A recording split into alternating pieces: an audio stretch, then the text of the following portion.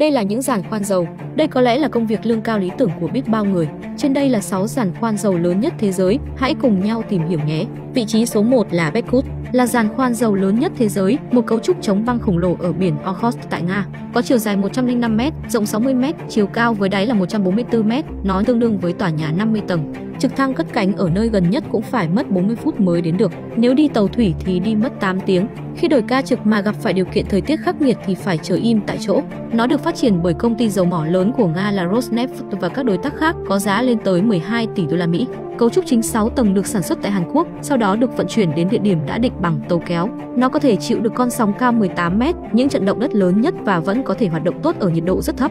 Giàn khoan được trang bị nhiều mô đun khẩn cấp và hệ thống an toàn, nhưng số người chứa được tối đa không được vượt quá 240 người. Đây cũng là trọng tải tối đa của bè cứu sinh. Dự kiến sẽ đi vào sử dụng đến năm 2050. Công suất khai thác dầu tối đa là 4,5 triệu tấn trên năm. Ở vị trí số 2 là giàn khoan Olympus. Giàn khoan này nằm ở vịnh Mexico, 130 dặm về phía nam của New Orleans. Đây là giàn khoan dầu sâu thứ 7, cũng là giàn khoan lớn nhất của công ty Shell. Nó nặng khoảng 120.000 tấn với độ cao 133 m, bằng với độ cao của tòa nhà 40 tầng.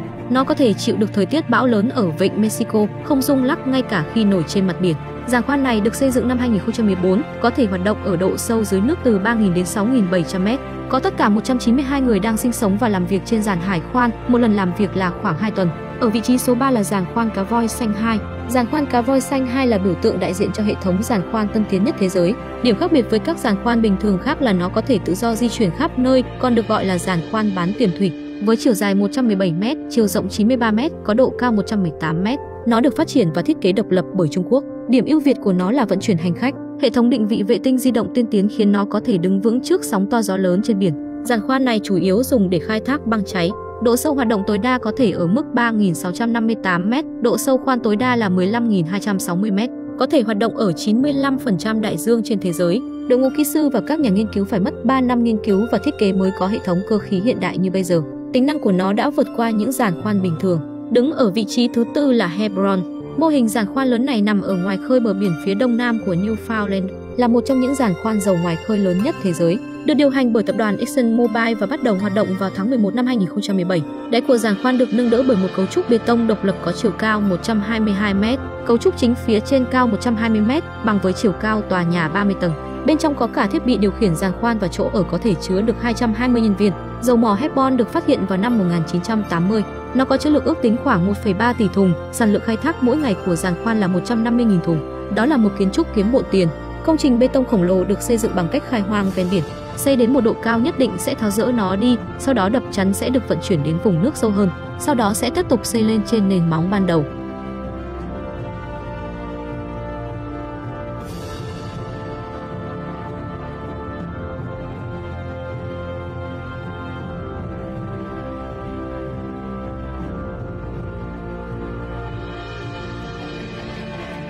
Giờ mới biết vì sao dầu mỏ lương lại cao thế. Đến vị trí thứ 5 là Stadjord A, giàn khoan nằm cách bờ biển phía tây Na Uy 80 km.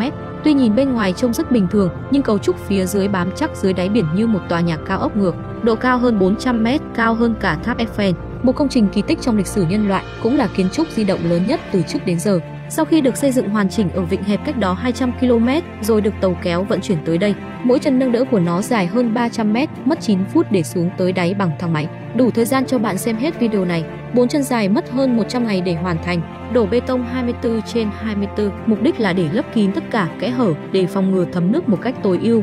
Dưới đáy có 19 trụ bao quanh, khiến giàn khoan có thể cố định vững chãi ở đáy biển. Ở vị trí cuối cùng là Perdido, giàn khoan được đặt cách bờ biển Texas vịnh Mexico, là giàn khoan dầu nổi sâu nhất trên thế giới do công ty dầu Shell ở vịnh Mexico vận hành. Được thiết kế với dạng kiến trúc nổi trên mặt biển, ở độ sâu khoảng 2.450m, trụ tròn nâng đỡ với đường kính 36m được hàn bởi 7 mặt cắt. Bắt đầu đưa vào hoạt động năm 2010, sản lượng cao nhất là 100.000 thùng dầu, quy đổi ra 200 triệu feet khí đốt mỗi ngày.